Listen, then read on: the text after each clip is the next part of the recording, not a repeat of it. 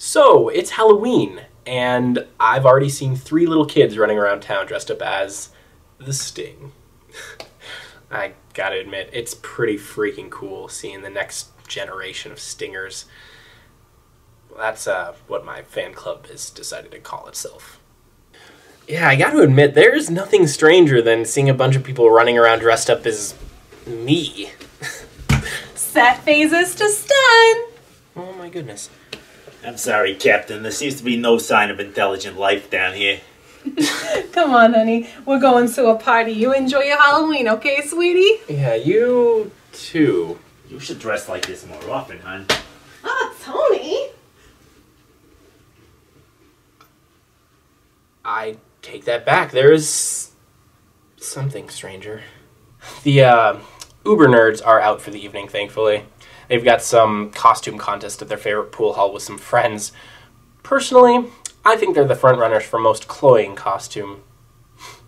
Um, I've actually got to get going too. I am late for Alex's Halloween party. And, you know, despite it being one of the hit costumes of the season, I've decided not to go as, well, me. you know, don't want to give too much away.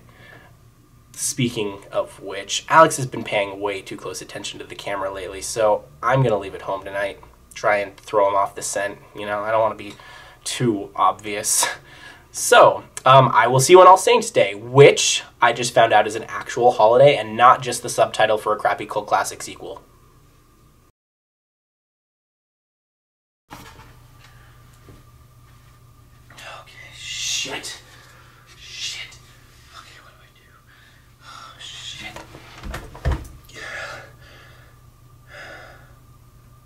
It's about 3 a.m. Um, I've been home from the party for about half an hour.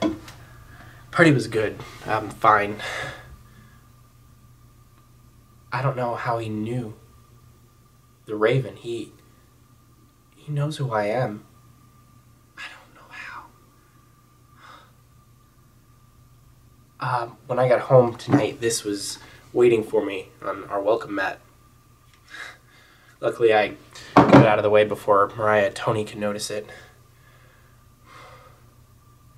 Thought it could be some coincidence, but it came with a note.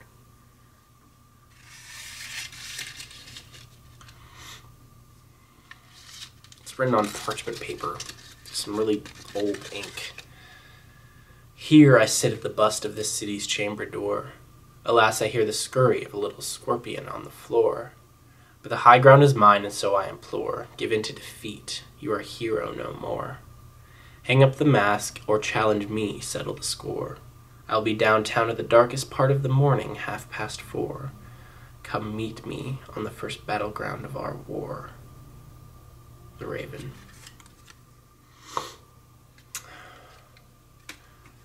This bastard knows who I am and he knows where I live. I can't go to Tony about it because he'd kill me. I have to face him.